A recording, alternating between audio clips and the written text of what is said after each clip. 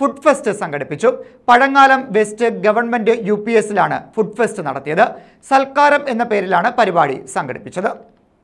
വിദ്യാർത്ഥികളുടെ പഠന പ്രവർത്തനത്തിന്റെ ഭാഗമായാണ് സൽക്കാരം രണ്ടായിരത്തി ഇരുപത്തിനാല് എന്ന പേരിൽ Pazhangalam west government U P സ്കൂളിൽ ഫുഡ് ഫെസ്റ്റ് സംഘടിപ്പിച്ചത്. നെടുമ്പന ഗ്രാമപഞ്ചായത്ത് വൈസ് പ്രസിഡന്റ് സുധാകരൻ ഫുഡ് ഫെസ്റ്റിന്റെ ഉദ്ഘാടനം നിർവഹിച്ചു.